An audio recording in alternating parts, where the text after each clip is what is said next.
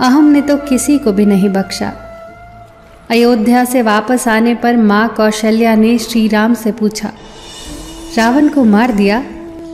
तब भगवान श्री राम ने बहुत सुंदर जवाब दिया, महाज्ञानी, महाप्रतापी, महाबलशाली, प्रखंड पंडित, महाशिव भक्त चारों वेदों के ज्ञाता, शिव तांडव स्रोत के रचयिता लंकेश को मैंने नहीं मारा।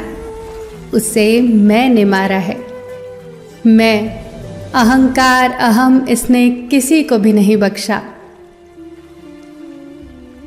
किन सांसों का मैं एतबार करूँ, जो अंत में मेरा साथ छोड़ देंगी? किस धन का मैं अहंकार करूँ, जो मेरे प्राणों को बचा नहीं पाएँगी? किस तन का मैं अहंकार करूँ, जो अंत में मेरी आत्मा के बोझ को उठा नहीं पाएगा? भगवान की अदालत में वकालत नहीं होती।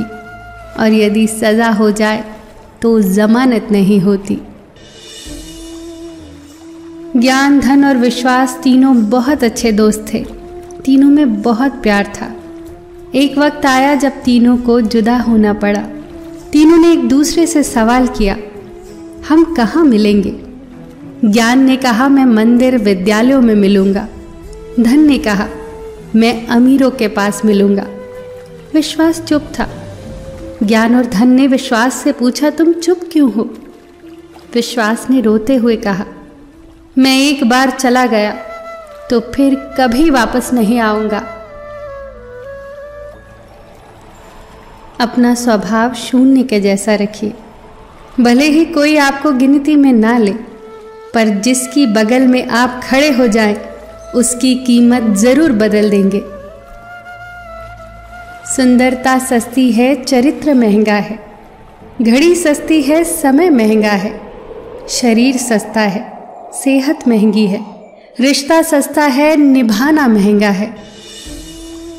सौ काम छोड़कर भोजन करना चाहिए। हज़ार काम छोड़कर स्नान करना चाहिए।